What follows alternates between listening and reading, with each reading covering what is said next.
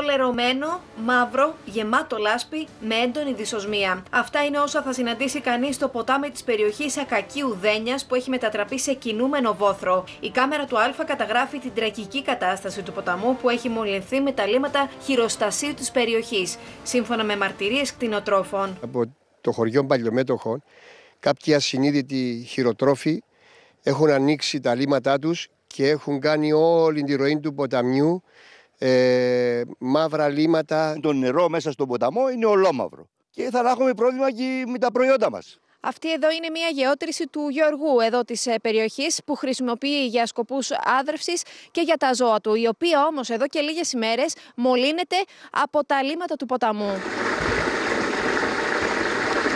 Υπό άλλες συνθήκες, αυτό το νερό του ποταμού θα ήταν πεντακάθαρο και κρυστάλλινο. Όπως βλέπετε και εσείς, οι φυσαλίδες που δημιουργούνται είναι από τα λίμματα που προέρχονται από χειροστάσιο. Αυτό το ποτάμι φυτράρει τόσο καλά και γίνεται τόσο καθαρό που μπορούσαμε να πιούμε από το λιμιασμένο νερό.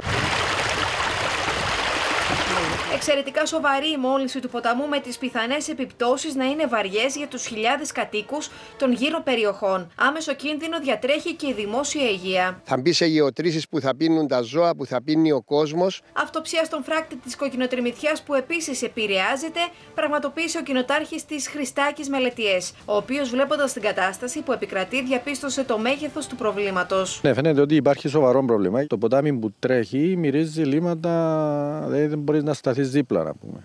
Επικίνδυνα. Ο κοινοτάρχης της Κοκκινοτριμηθιάς, έπειτα και από την επιβεβαίωση του προβλήματος, κάλεσε άμεσα την αστυνομία για να εξετάσει το θέμα. Σύμφωνα με πληροφορίες, το τμήμα περιβάλλοντος αναμένεται να επισκεφθεί αύριο το σημείο, πραγματοποιώντας τη δική του έρευνα.